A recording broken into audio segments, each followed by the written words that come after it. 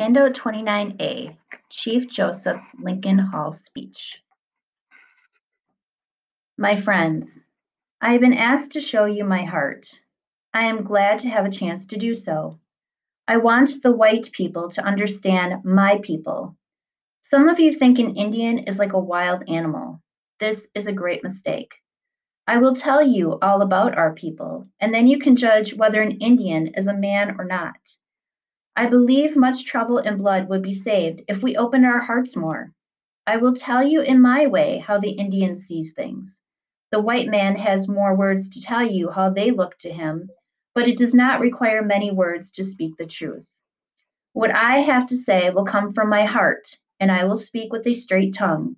Ah-cum-kin-i-ma-me-hut. The Great Spirit is looking at me and will hear me.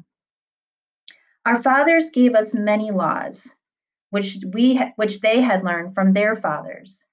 These were good. They told us to treat all men as they treated us, that we should never be the first to break a bargain, that it was a disgrace to tell a lie, that we should speak only the truth, that it was a shame for one man to take from another his wife or his property without paying for it. We were taught to believe that the Great Spirit sees and hears everything and that he never forgets that hereafter he will give every man a spirit home according to his deserts. If he has been a good man, he will have a good home. If he has been a bad man, he will have a bad home. This I believe, and all my people believe the same.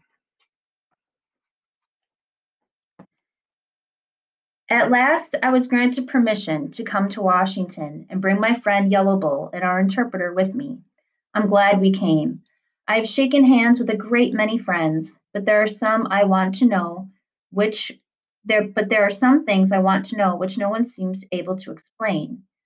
I cannot understand how the government sends a man out to fight with us, as it did General Miles, and then breaks his word. Such a government has something wrong with it. I cannot understand why so many chiefs are allowed to talk so many different ways and promise so many different things.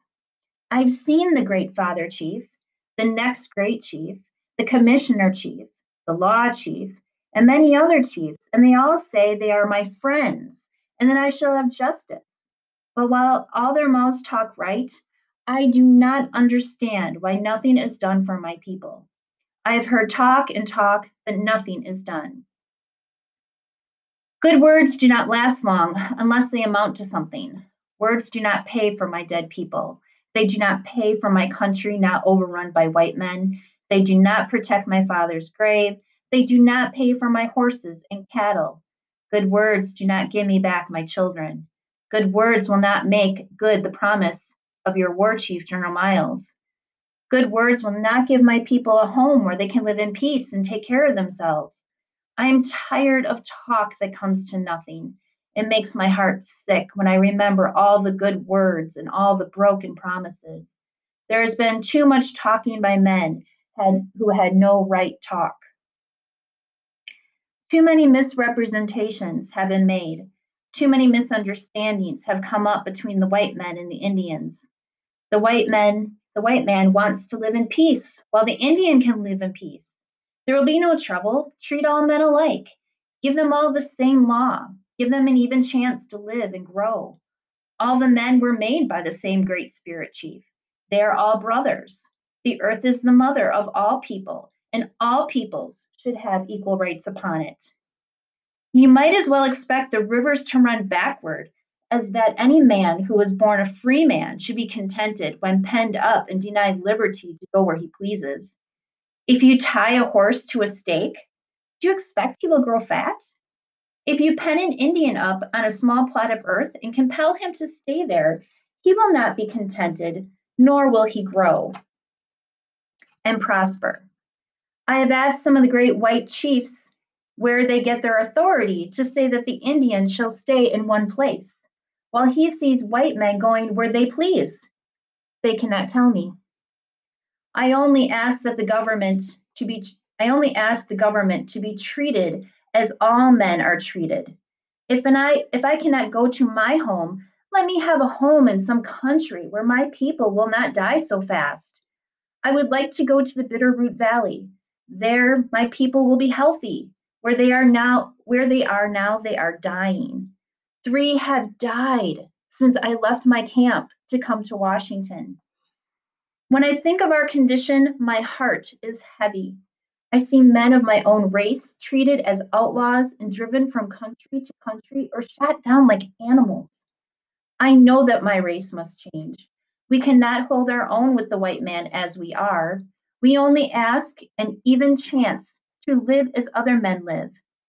We ask to be recognized as men. We ask that the same law work alike on all men. If an Indian breaks the law, punish him by the law. If a white man breaks the law, punish him also. Let me be a free man, free to travel, free to stop, free to work, free to trade where I choose, free to choose my own teachers, free to follow the religion of my fathers, free to think and talk and act for myself. And I will obey every law or submit to the penalty. Whatever the white man treats the Indian as they treat each other, then we will have no more wars. We shall all be alike, brothers of one father and one mother, with one sky above us and one country around us and one government for all.